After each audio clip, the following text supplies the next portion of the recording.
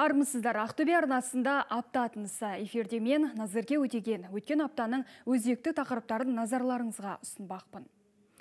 Бұл аптада 8 наурыз халықаралық әйелдер күніне орай бір қатар мерекелік шаралар болды. Мәдениет үйлерінде, қала көшелерінде концерт ұйымдастырылып, гүл таратылды. Ал негізгі шара өнер орталығында өтті. Аймақ басшысы өңір дамуына елеулі үлес қосқан аруларды марапаттап, ізгі тілегін білдірді. Қазіргі уақытта қыз келіншектер түрлі кәсіп меңгеріп, қоғам өміріне белсене араласып жүр. Тіпті ыстық металл, ауыр заттармен жұмыс істейтін зауыттарда да әйел адамдар кезгеді. Өнер орталығына өз саласында ұзақ жыл еңбек етіп жүрген нағыз іскер әйелдер жиналды. Мәселен, Жәмила Сақтаған қызы 1987 жылдан бері Ақтөбе ферроқорытпа зауытының кран жүргізушісі. Оның 36 жыл еңбек өтілі бар. Әу баста ауылдан қалаға мұғалім болам деп келген ол оқуға түсе алмай, зауытқа уақытша жұмысқа кірген. Дегенмен кейін ұнап өндірісте қалған. Өмірлік серігінде зауыттан тапты. 18 жасында келгесін ол да 22 жасында сол заводта жүргізуші болып машина айдады автоцехта бізде цехтар көп қой сонда таныстық содан иә үй жаңағы жас семья болып үйлендік содан екі қыз өсірдік үлкен қызым да заводта істеді бүкіл аналарымызға мына мейрамға байланысты қыздарымызға құрбыларымызға апаларымызға денсаулық тілеймін отбасында бақытты болсын балалары аман болсын еліміздің бүкіл қазақстан әйелдеріне тоже бар бақытты тілеймін. Марапатталғандардың арасында медицина саласының мамандары да бар. Солардың бірі светлана рыжкова. 70 жастағы профессор қазір марат оспанов атындағы медицина университетінде шәкірттерге дәріс оқиды. Акушерство и гинекология. Марат оспанов атындағы оқу орнынан акушер гинеколог болып шықтым. Аспирант атанып білімімді мәскеуде жетілдірдім. Кейін сол білімді қандағашта пайдаландым. Аудандық ауруханада жұмыс істедім. Жарты өмірімді білім іздеуге арнаған адаммын. Енді бар білгенімді шәкірттерге үйретіп жүрмін. Мейрам құтты болсын білімді арулар көп болсын. Аруларды марапаттаған аймақ басшысы қазір әйелдердің барлық салада белсенділік танытып жүргенін атап өтті. Құрметті ханымдар ардақты аналар аяулы арулар.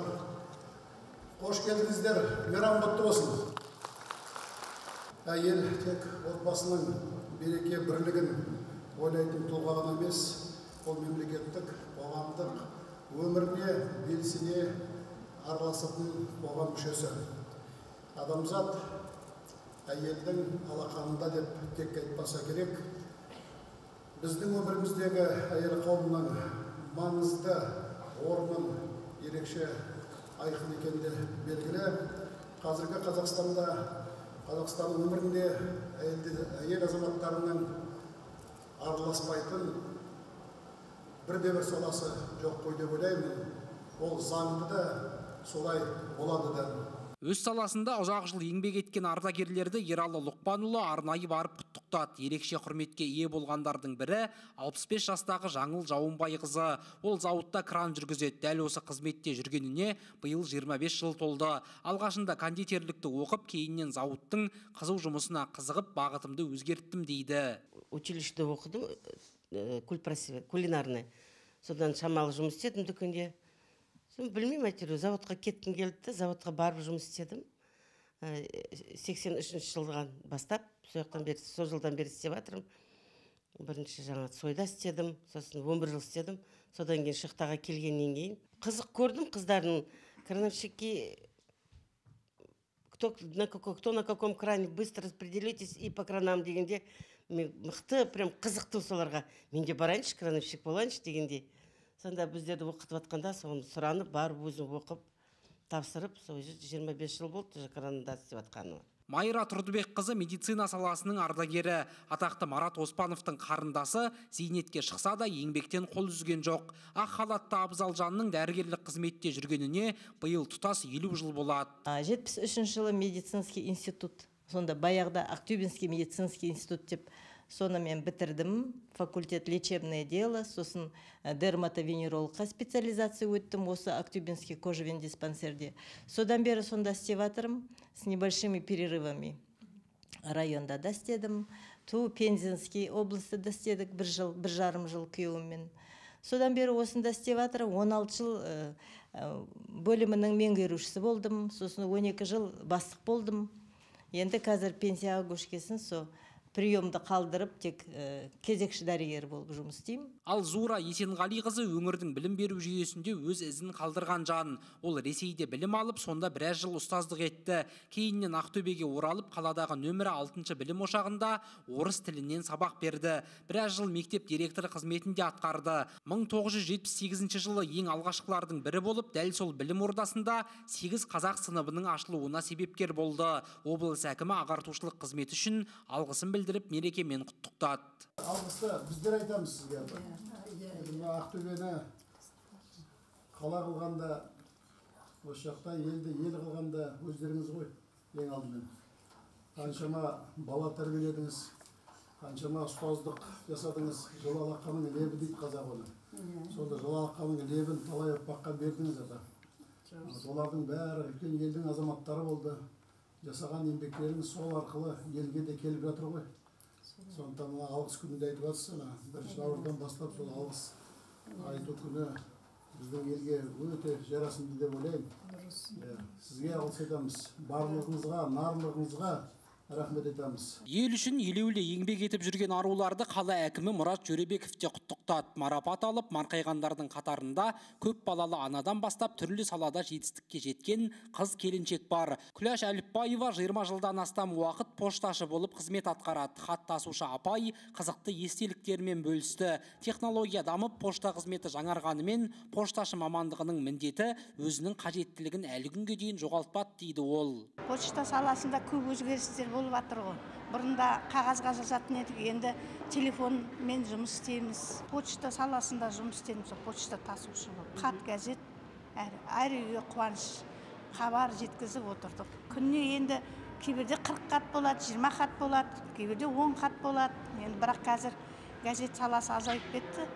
Негізінде бәрі компьютерлік неге ауысып жатыр ғой? Хат бар ғой әлі бар. Әлі де бар. Банк саласынан көп келеді. Ерекше құрметке ие болғандардың қатарында қоғамға қалтқысыз қызмет етіп жүрген әскердегі арулар да бар. 17 жылдан бері сол салада жұмыс жасаймын. Әр саланың өзінің қиыншылықтары бар но оны оған төземіз. Өзіміз ант бердік соған. Барша қыз келіншектерді аналарды мейрамдарымен құттықтаймын. Тек зор денсаулық тілеймін. Еліміз тыныш жұртымыз аман болсын. Ұйымдастырушыларға көп көп рахмет айтамын. Ал шығармашылық академиясында оқушылар ұстаздарына арнап мерекелік концерт ұйымдастырды. Оған өңіріміздің барлық аудан ауылынан мұғалімдер арнайы шақырылды. Облыс әкімі халықаралық әйелдер күні бала тәрбиесі мен ұлт болашағына жауапты жандарды мерекемен құттықтады. Олардың еңбегін жоғары бағалап табысты қызметі үшін ондаған ұстазды алғыс хатпен марапаттады. Өмірге сенімді аяғына тұрып жүретін балалар кімдер болуы мүмкін? Олар білімді азаматтар ғана аяқтарына тұра алады өздеріне өздеріне сенімді қай уақытта бола алады бойына білімі бар азаматтар уақытта сенімді болады өзіне сенімді болған әрбір азаматтың жанұясында да сенім пайда болады балалардың болашағында да сенім болады. Сол сенімге алғашқы қадам сөз жоқ ол әке мен шешенің үйдегі білімі өз алдына өнегесі ал ұстаздардың беретін білімі ол өмірге болашаққа нағыз үлкен кепілдік ұстаздардың қолында шығар қалалық мәдениет үйінде де мерекелік шара өтті. Мейірім бағы бірлестігі мүгедектігі бар әйелдерге қыз келіншектерге арнап концерт қойды. Шарада өнер көрсеткендердің басым бөлігі ерекше балалар. Бүгінде бірлестік құрамында алпыс бала бар. Бұл олар ұйымдастырған бірінші ауқымды шара. Мүгедектігі бар балдарды бағып отқан аналарға көтеріңкі көңіл күй сыйлау мақсатында ұйымдастырылып отыр өзім негізі сондай екінші топтағы жандардың бірімін мерекеде астана ауданының әкімі айбек көпенов көпбалалы аналарды құттықтап оларға күміс алқа табыстады. Сондай ақ өңір дамуына үлес қосып жүрген аруларға алғыс хат берді. Ауданда елеулі еңбек етіп қоғам дамуына үлес қосып жүрген арулар көп. Қазақта жұмақтың кілті ананың табанының астында деген жақсы сөз бар. Біздер қазақ қоғамы қазақ елі әрдайым анамызды құрметтеп қыз балаға үлкен сыйластықпен қарап тәрбиелеп келеміз. Міне бүгінде осы біздің ұрпақты жалғаушы өздеріңіз осында отырған барлықтарыңыз үлкен құрметке лайықсыздар. Барлығыңыз батыр деген атаққа лайықсыздар. Сондай ақ қала тазалығына жауапты мекемелерде жұмыс істейтін әйелдер құрметке бөленді. Облыс әкімі Ералы Тоғжанов мерекеге қарамастан қолына күрек алып, қар аршып жүрген тазалықшыларды халықаралық әйелдер күнімен құттықтады. Оларға гүл ұсынды, қажырлы еңбектерін атап өтіп, зор алғысын білдірді. Нұрбол Жауынбаев, Самат Қалекенов, Мержан Аманжолов апта тынысы. Өңір әлеуетін көтеріп, экономикасын дамытуда нәзік жандылардың қосар үлесі еселеніп келеді. Тиісінше оларға көрсетілетін қолдау да артқан. Мәселен, былтыр 58 мыңнан астам адам жұмыспен қамту шараларына тартылса, оның жартысынан көбі әйелдер. Өңірде жұмыссыз әйелдерді еңбекке араластыруға жәрдемдесу ісінде де оң серпін бар. 2022 жылы бастау бизнес жобасы шеңберінде 3 мыңнан астам нәзік жанды білімін жетілдіріп, 530 қыз келінше қайтарымсыз грантқа ие болған. Отбасылы кәсіп ашуға ниеттенгендерге мүмкіндік мол, соның бірі де бірегейі табысты отбасы жобасы. Осы аптада жобаға қатысқан ақтөбеліктердің екінші легі оқуын тәмамдады. Оларға қажетті құрал жабдықтары табысталды. Іс бастауға ниетті жандарды қолдау жұмысы мұнымен тоқтап қалмайды. Табысты отбасы жобасы былтыр желтоқсан айында 300 қазақстандықтың әл ауқатын жақсарту мақсатында басталған болатын. Облыс бойынша барлығы 60 адам білімін жетілдірсе, оның ішінде 40 қатысушы екінші лекте оқыды. Барлығы 12 адам SMM, 17-сі бьюти индустрия, бесеуі тігінісі және алтауы автоэлектрик бағытын таңдады. Олардың бәрі кәсіп ашуға ерекше қызығушылық танытқан. Алдымен бір ай бойы білімін жетілдірді, тәжірибелі мамандардан сабақ алды. Дүйсенбіде жобаға қатысқан ақтөбеліктердің екінші легі оқуын тәмамдады. Оларға қажетті құрал жабдықтары табысталды. Тегін ноутбуктер, тігін машиналары және тағы басқа жабдықтарға ие болды. Жаңа техникаларды алған отбасылар енді өз кәсіптерін өрбітпек. Көп балалы аналар, жалғыз басты аналар мен әкелер, жастар 29-ға толмаған жастар, аз қамтылған отбасылар және ерекше бала тәрбиелеп отырған ата-аналар соларды оқытамыз. Содан кейін оларға өз істерін ашуға мүмкіндік беретін самұрық қазына траст қорының атынан арнайы жабдықтар береміз. Жабдықтар беру үшін бес бағыт біздерде қамтылған. Олар кондитер бағыты олар тігін ісі бағыты олар смм және бьюти соның ішінде атап айтқанда кірпік өсіру және ер адамдар үшін автоэлектрик бағыты. Табысты отбасы қайырымдылық жобасы ел азаматтарының әл ауқатын арттыру мақсатында әзірленген. Екінші лекке қатысып қызығушылығына қарай білім алған азаматтар өзге ақтөбеліктерді де мүмкіндікті құр жібермеуге шақырады. Біз көпбалалы ана ретінде мен осы жобаға қатыстым жобаға алғысымды айтқым келеді. Біздер көптеген қыздармен ортамен араластық көптеген ә, сабақты түсіндірді біздерге. Енді осы үйде отырған аналарға да айтарым осы жобаға қатысып өздерінің бизнесін ә, жобасына қатысып өзінің бизнесін ашуға кеңес берер едім. Шараға арнайы қатысқан облыс әкімі жобаны ұтымды пайдалана білген әр қатысушыға алғысын білдіріп қолдау көрсетуде аянып қалмайтынын жеткізді. Өз жанұяларыңызға өз балаларыңыздың болашағына аяқ басқандарының үлкен белгісі. Сондықтан мына алғыс айту күніне сәйкес осы үлкен жобаға самұрық қазына траст осы мына үлкен жобаны бастады. Мен сол самұрық қазынаның өкілдеріне айжан нұрлан осы жерде нұрлан осы жерде тұр міне келіп отыр арнайы соның бәріне рахметімді айтамын. Әрбір жасалған іске алға бір қадам жасау керек те? Алла тағала қолдайды. Жоба аясында қазіргі заманға сай мамандықтар бойынша ұлытау семей жетісу түркістан және ақтөбе өңірлерінің тұрғындары оқытылды. Қаржылық сауаттылығын арттырды өтінім бергендердің басым бөлігі ерекше баласы бар аналар көп балалы отбасылардағы жұмыссыз қыз келіншектер. Өңіріміз бойынша жобаның алғашқы қатысушылары қобда ауданының тұрғындары болды. Айта кетейік 200 миллион теңге қаражат бөлінген жобаға самұрық қазына траст әлеуметтік жобаларды дамыту қоры қолдау көрсетіп отыр. Өңірде жұмыссыз әйелдерді еңбекке араластыруға жәрдемдесу ісінде де оң серпін бар. Жоғары оқу орнын тәмамдаған 2000 мыңнан астам түлек жастар тәжірибесі арқылы мамандығы бойынша жұмыспен қамтылған. Ал сұранысқа ие мамандықтарды меңгеріп тұрақты жұмысқа орналасу үшін мыңнан астам адам қысқа мерзімді курстарға қатысқан. 13664 әйел бос жұмыс орындарына жұмысқа орналастырды. Ол қырықта жеті пайызды құрайды. Еңбек нарығында сұранысқа ие мамандықтар бойынша қысқа мерзімді оқытуларға курстарға дейміз 691 әйел. 1117 әйел әлеуметтік жұмыс орындарына жіберіліп уақытша сипатта қоғамдық жұмыстар орындарына 5966 адам жіберілді Бүгінде алғашқы жұмыс орны, ұрпақтар келісім шарты, күміс шаш жобасының да шарапатын көріп отырған әйелдер жетерлік. Олардың жалпы саны 472-ні құрайды. Аталған жобалардан өзге отбасылық кәсіпті жандандырып, табыс табуға жағдай жасайтын жаңа бастамалар да оң нәтиже көрсетіп үлгерді. Бүгінгі таңда өздеріңізге белгілі, Ақтөбе облысы бойынша бақытты отбасы жобасы жүргізіліп жатыр.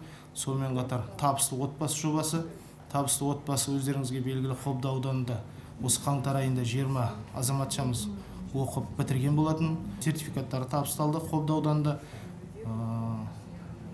Барлықтарына бірдей керек құжатта құралдарын барлығы алып берді. Азаматтарды еңбекпен қамту үшін бос жұмыс орындар жәрмеңкесі жиі өтеді. Жыл басталғалы 20 жәрмеңке өтіп нәтижесінде 481 адам еңбекке араласты. Белсенді шаралар жыл бойы жалғасын таппақ. Амангелді атабайұлы назерке өтеген арман досмағамбетов апта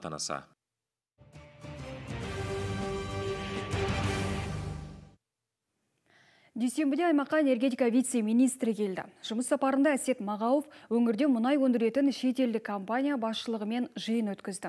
Сонымен қатар қала халқымен де кездесті. Кездесу барысында тұрғындар өңірдегі сарқылған мұнай, газдандыру және бобақша ұжымдарына қатысты сауалдар қойды. Шетелдік компания өкілдерімен жолығудың мақсаты неде? Халық саны өсіп келе жатқан аймақта көгілдір отын мәселесі қалай шешілмек? Бұл туралы келесі бейне материалда. Ақтөбе өңірінде мұнай өндіру көрсеткіші төмендеп кеткен деді вице-министр. Мұнай өндіруден ел бойынша төртінші орында тұрған аймаққа республикадағы қара алтынның 6 пайызы тиесілі. Былтыр облыста 5,1 миллион тонна мұнай өндірілді. Күн тәртібіндегі мәселе өндіру көрсеткішін ұлғайту.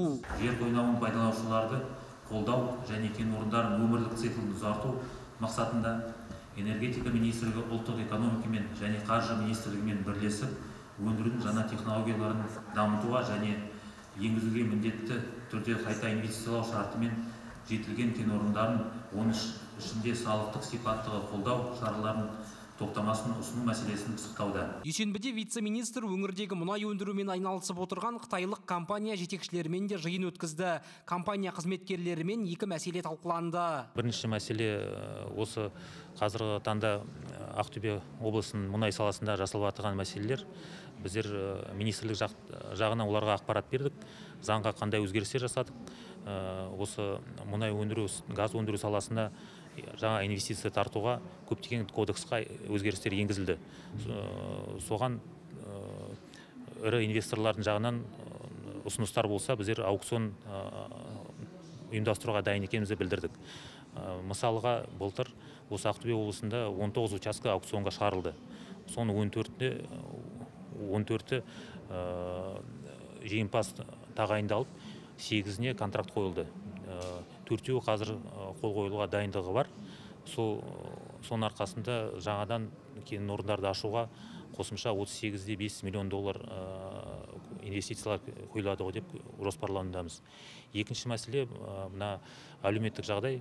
Болып жатырған үлкен ірі мекемелерде жауапкершілігі туралы әңгіме болды. Олар тек өзінің өндірістік мақсаттарына жауап бермей бүкіл манағы кен орындағы түгілімен өзінің жұмысшыларын әлеуметтік жағдайына және де өзінің мердігер компанияның ішіндегі әлеуметтік жағдай тамағы жататын жері бүкіл ешқандай манағы айырмашылық болмау керек шетелдік жұмысшы ма өзінің отандық қазақстандық жұмысшы ма бәріне бірдей жағдай жасалу керек. Ал халықпен кездесуінде вице-министр өңірді газдандыруға қатысты мағлұматтарымен бөлісті. Бүгінгі таңда аймақ 93 бүтін оннан алты пайызға көгілдір отынмен қамтылған. Өткен жыл энергетика министрлігінің бюджеттік бағдарламасы аясында 16 жобаға 6 бүтін оннан бір миллиард теңге бөлінген. 16 жобаның жетеуі аяқталды. Жеті жоба аясында төрт жарым мыңға жуық адам тұратын жеті елді мекен табиғи газға қол жеткізді. Жылдың аяғына дейін қалған төрт жобаны аяқтау жоспарда. Жоспар жүзеге асса өңірде тағы үш мыңнан аса адам газбен қамтылады. Дегенмен ақтөбенің халық саны күннен күнге өсіп келеді. Сондықтан көгілдір отын да көп мөлшерде қажет. Мәселені шешу үшін жергілікті әкімшілік министрлікке екі ұсыныс берген болатын. Ақтөбе қаласының халқы саны өте жылдам өсіп жатыр.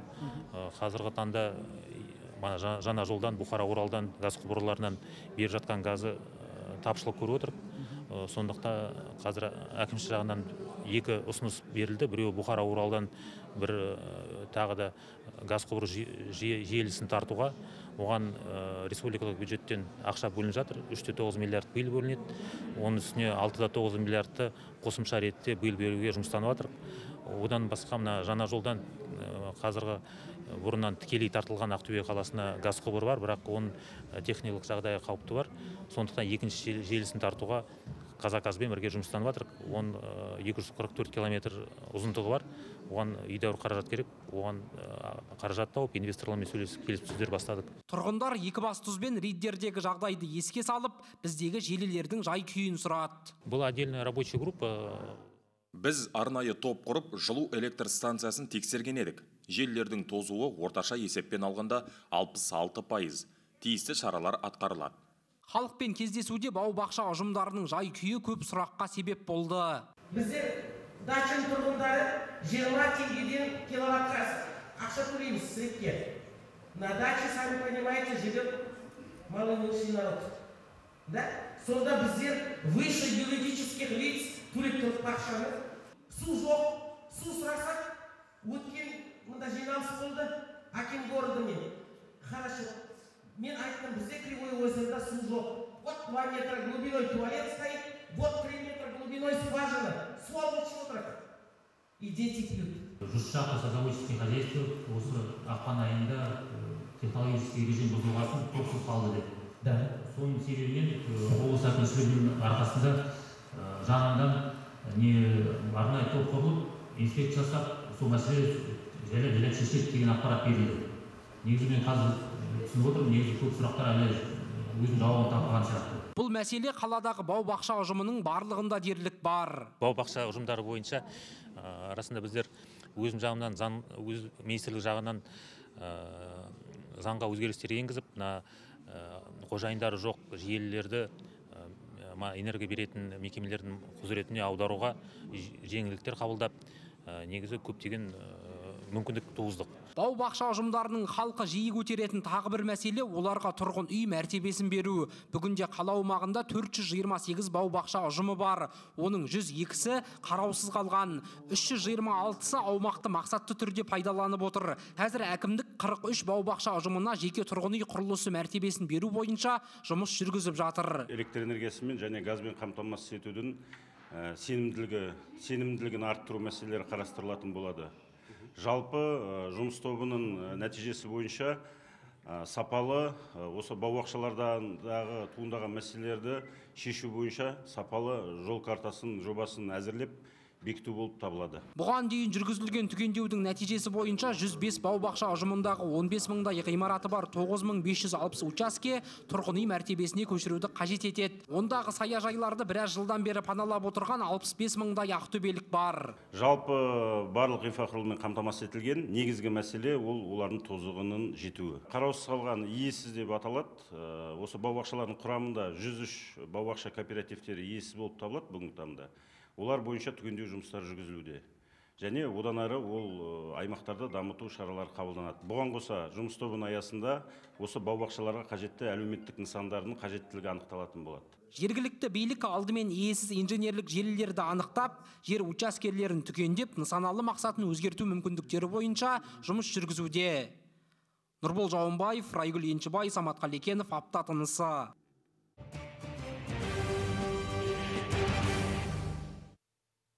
Күндізбе көктемге ауысқанымен жылда бұл уақытта Ақтөбеде қыз көрпесін жамылып жататын. Әрі биыл қар былтырғаға қарағанда екі есе көп түсті.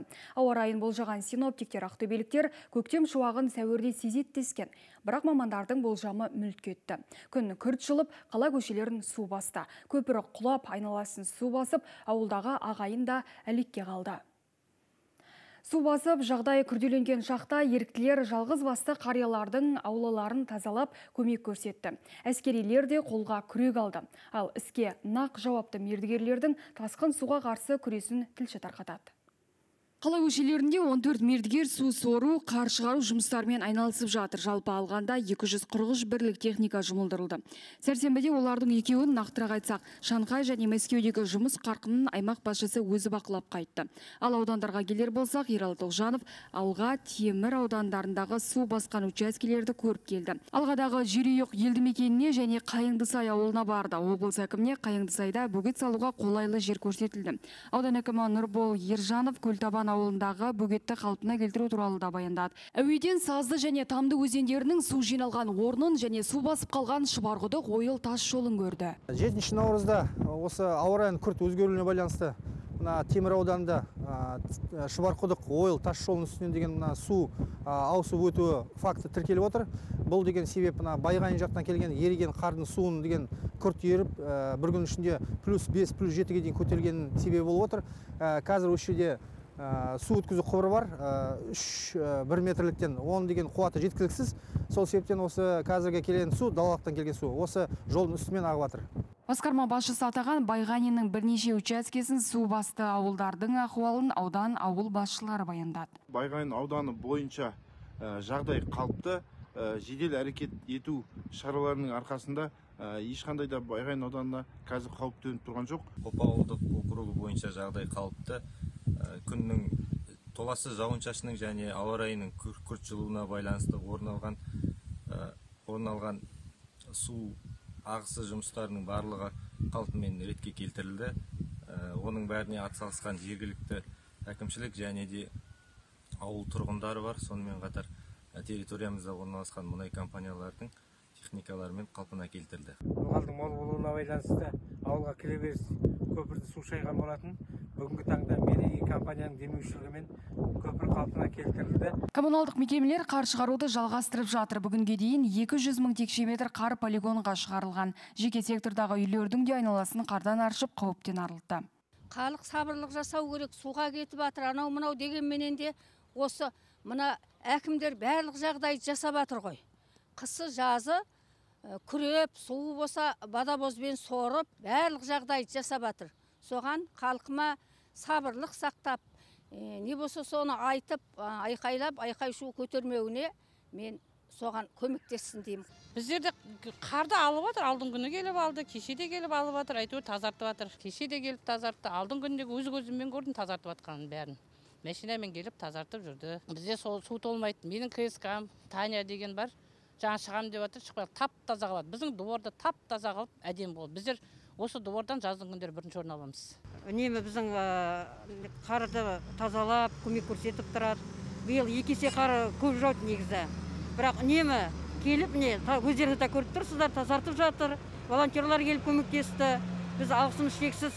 Жауапты мамандар қоңырау түскен аумақтардың барлығы бақылауымызда деп отыр. Инертті материалдарды да тегін жеткіземіз. Мұны пайдаланып жалған қоңырау шалатын тұрғындар көбейіп кетті дейді. Дегенмен қала әкімі көктем келсе Ақтөбенің суға кететінін жасырмады. Өйткені техника тапшы, суағар жоқ. Жылдар бойы шешімін таппаған бірқатар мәселе бар. Есептеп жатырмыз.